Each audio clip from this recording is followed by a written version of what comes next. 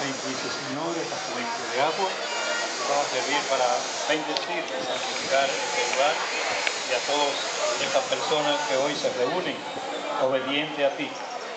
Que sea como lo que tú hiciste con ellos, que sirva para bendecir y santificar y que sea una fuente de luz para cada uno de nosotros que estamos aquí.